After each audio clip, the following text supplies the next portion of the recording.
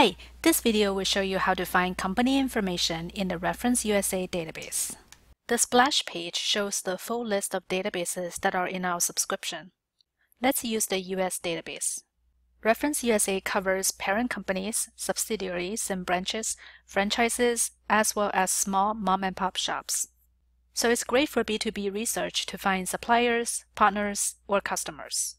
But no database will ever claim to cover every single company in the country. To understand how Reference USA collects and verifies the listings, click on About Us and watch the video. Let's generate a list of companies. Change to Advanced Search. Check the left navigation menu to see the criteria you can use in your search. You can search by executive gender and ethnicity, which can be useful if you are marketing to specific groups such as women or minority-owned businesses. You can also search by geography, company size, and more. Say we want to find a list of dog walking, sitting, or boarding businesses in Portland, Oregon. Under business type, check keywords, SIC, NAICS. If you know the SIC or NAICS code already, you can enter the number.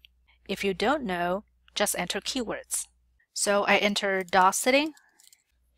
The database generates a list of matches, some relevant, others not so much. You can pick one or more of the matches.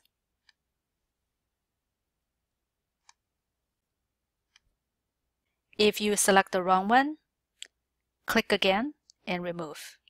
Under Geography, you can search by city, zip code, neighborhood, even manually define an area through map-based search. We'll find Portland, Oregon.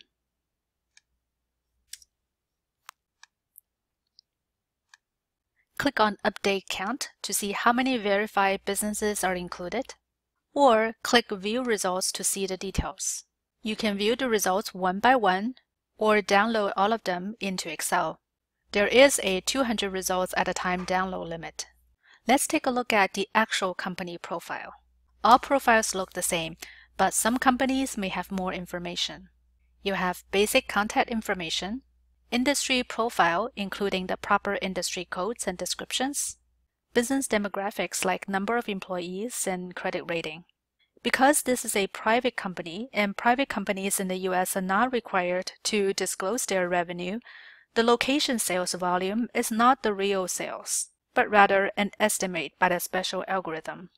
The business expenditures data are also estimates. I want to show you one other neat feature. Let's do a search on Pizza Hut. You get a list of all the franchises. Click on this icon to view the corporate family tree. You can see who the ultimate parent company is and what other related companies are out there. I hope this video helps. If you have any questions, feel free to ask us. Thanks for watching.